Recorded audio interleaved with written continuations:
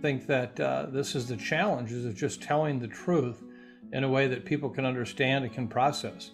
And, uh, you know, people in the end are responsible for the quality of their own life to that extent, but we can do a lot to help. And I think what's been so amazing to me with this program is how you've been able to reach out to the community. You know, I, uh, I, it's not about having all the money in the world. It's not about, uh, you know, fancy titles. It's about how do you relate handshake to handshake? How do you relate to, and I think you said it so well tonight when you said, no man touches any other man more intimately uh, and allows that uh, than your barber and even the hairstylist. And I think that that is such a, an important thing. But you know what I, I learned more than anything, and, and I got to tell you, the night that I watched Dynamite talk about all of this with his clients, and I got to tell you, that was an education for me. You know, I like to think I've had some education. Well, I got an education that night, and it was beautiful. It was wonderful, mm-hmm. and it made a difference. And uh, so I think that one of the things you've taught us here is what we often don't teach, and that is you can have all the recommendations, all the policies, all the science, all of the things in the world. But if you can't get that needle that last inch, what have you accomplished if you can't turn a vaccine into a vaccination? And that's what you all are so good at.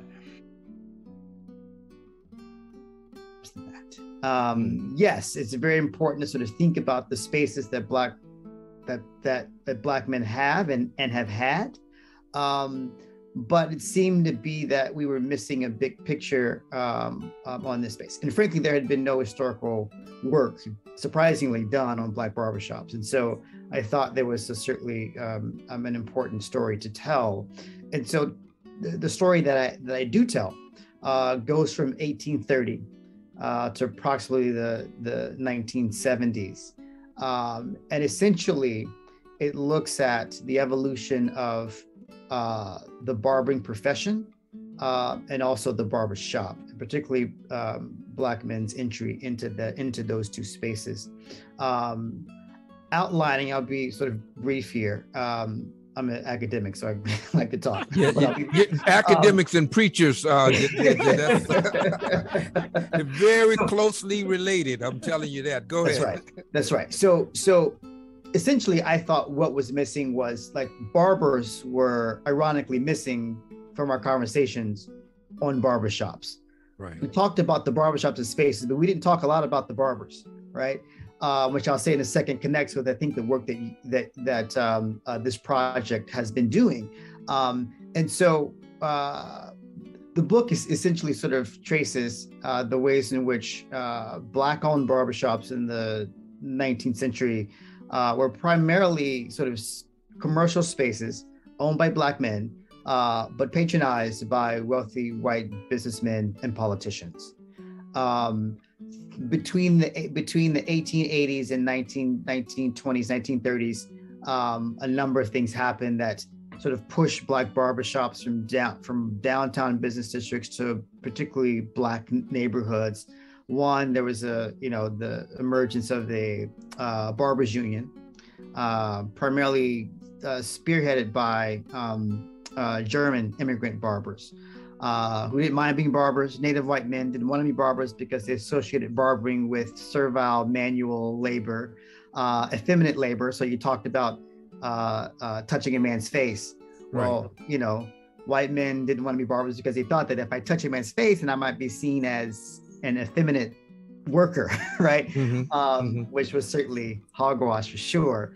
Um, but also during this, and so they they pushed for licensing laws. The licensing laws that that we see now uh, be, came about beginning in the 1890s, 1900s, 1910s, etc.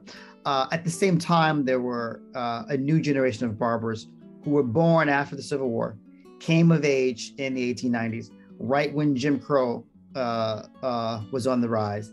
Um, and they opened barbershops uh, uh, targeting Black patrons and Black communities.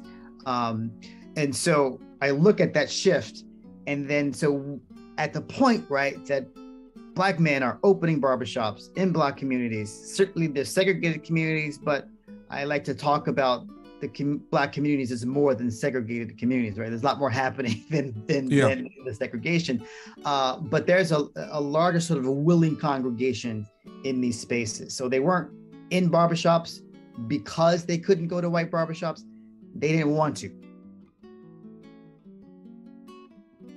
Uh, just going back to briefly what you were saying about our friend, we just lost a, a, a good friend. He was on, he was on the Hell No Wall. Um, he contracted COVID uh, on a, the week before we did our second vaccine clinic at the barbershop. He collect he he contracted it on a Monday. He was hospitalized Thursday, and he died Saturday in a short week. Um, and he had no underlying conditions.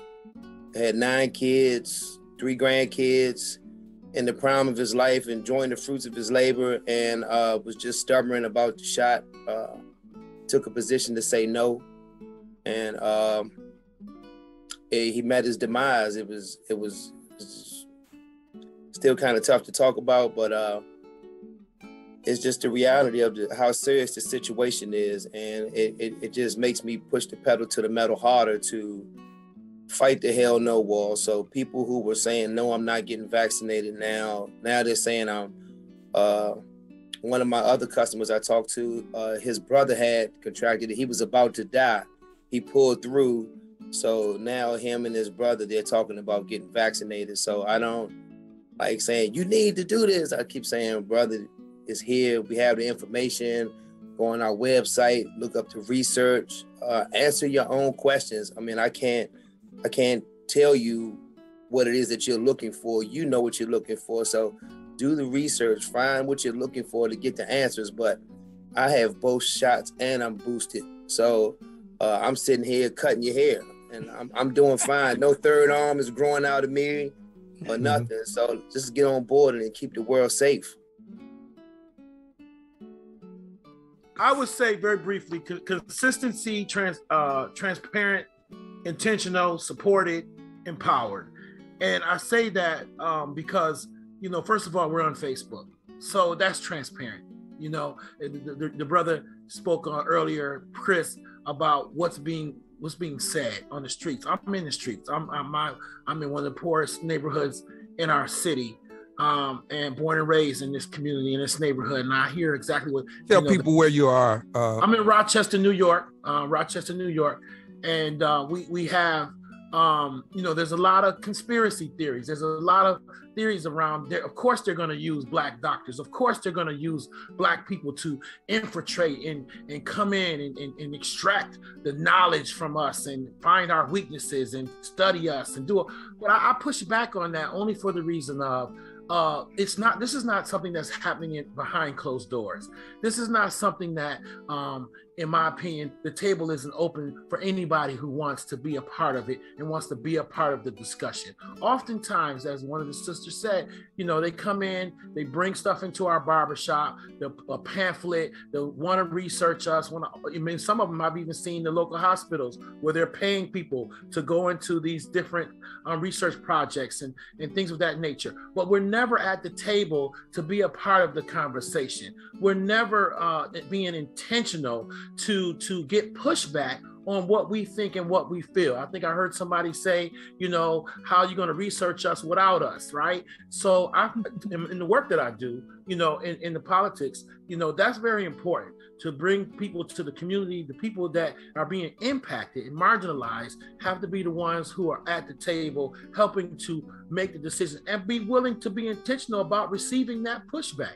I've never seen Dr. T and Mayor O'Neill be uh, uh, uh, uh not wanting to take that pushback and, and not wanting to hear the truth on how people feel and always asking us how do we feel? We're not forcing anybody to get anything. We're not holding people down in chairs and sticking needles in their arms you know? So so we're, we're giving them information and we're and this is bigger than vaccines. It's bigger uh, when we're talking about healthcare and information people perish for the lack of knowledge. And i've always seen that the empowerment piece of barbers and beauticians and appearance enhancement professionals, understanding the power that we have internationally, we can control the world. Well, there's a lot of information that has to be shared. And uh, that's basically what I'm saying is uh, we're, we're as, as uh, barbershops, we have to have continuous information continuous conversation because we'll be now i'm not a barber but i have shops. But uh, i've talked to my barbers. They'll say they'll have a point that they're trying to make to anybody but they have to make it to everybody. Mhm. uh, you have a person that's in the chair for 20 minutes half an hour. And whether or not they get their point across to that individual they start the conversation again with the next individual. Mhm. and it goes on, and we were talking about this the last time where training is one of those things where it has to be repeated. You can't get you can't think that uh, your dog is going to get trained because you give him one treat. You can't think a person is going to learn because you told him one time. It's going to take two or three times, and I think the uh, the natural number is seven, where they have to get it seven times before they say, "Oh, wait a minute, I know that."